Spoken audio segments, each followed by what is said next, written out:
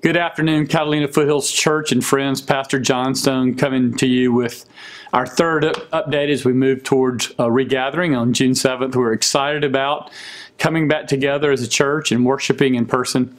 But even as we come, I just want to remind you of a few things as we regather. Number one, we cannot guarantee your safety. So what do I mean in saying that? We have we have zealously cleaned the sanctuary and we're going to clean the sanctuary between our three services. We're wiping it, we're cleaning all the chairs and all the surfaces, all the knobs. But the COVID is sort of here to stay for a season. Until there are vaccines, until there are better treatment protocols, we cannot guarantee your safety. Only you can guarantee your safety. And we recognize that some of you are not ready to return and some of you are. So as you do come back, we want to give you this admonition please care for your own health. If you've had any symptoms, take a week off. If you're unsure, take a week off.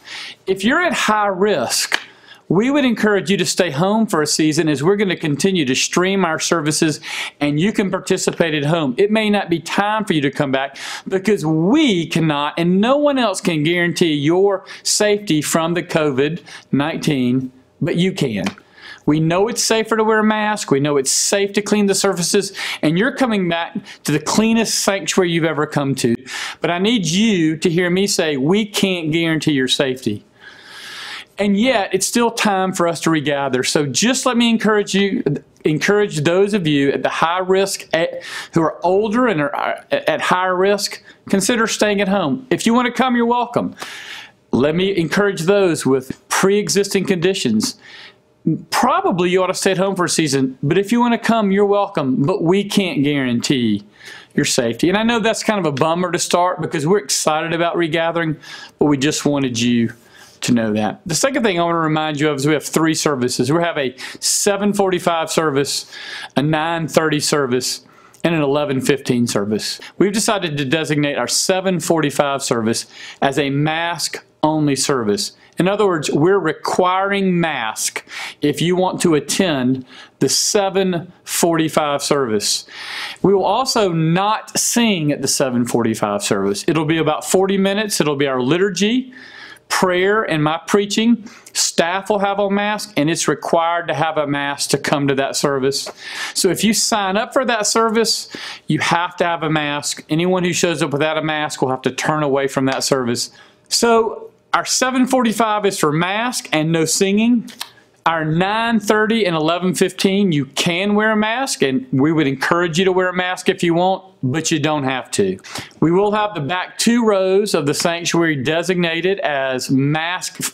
For those who want to wear a mask, can sit at the back so they can feel more safely. There's nobody behind them, but they don't have to. It'll just be set up so that mask people in the 9:30 and 11:15 service can sit back there. But come as you are, come however you want, and sit however you want. Now, as you come back, you're coming back to a socially distant sanctuary. It's not the same sanctuary you left. We have it set up in groups of four, groups of five, groups of six, groups of two, so that families can sit together, but everybody's six feet apart.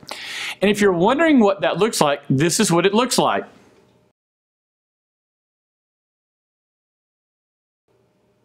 So now that you've seen it, you know what to expect when you come back to the service.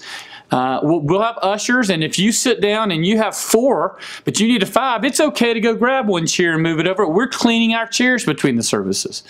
We will sing in those two services. Some can sing with mass, some can sing without, and we recognize that singing causes more danger of people who might have it to be exposed. And again, if you're returning, be careful. But we, we look forward to be back on June 7th. We're excited about how clean it is, and we're excited to have you come back.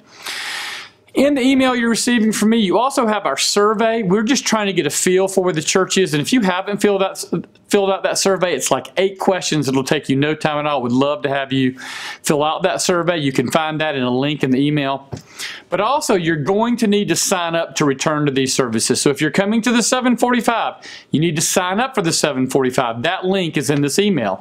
If you're coming to the 930, we need you to sign up for the 930 because it will fill up. And if you're coming to the 1115, we need to sign up. We can't have all 300 people show up at one service. We don't have enough chairs. That would be disrespectful to our neighbor because we're being cautious because we not only want to love one another, we want to show respect to our neighbors, some of whom are not sure we should regather.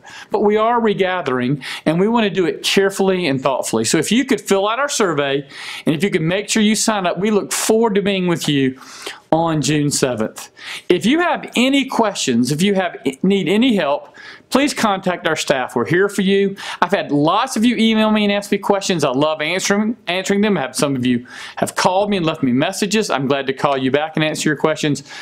But again, look forward to being with you. That'll be a week from this coming Sunday. We have one more online service and then we're back being regathered. Now, if you can't come back and you don't and you're not ready to, we support that. We will be streaming that 9:30 and that 11:15 service for you, so you can still watch it online. It'll be live streamed, and we look forward to delivering that to you. But so until we see you face to face, or until we talk by phone, until we talk by email, we love you. We miss you. We look forward to being back with you.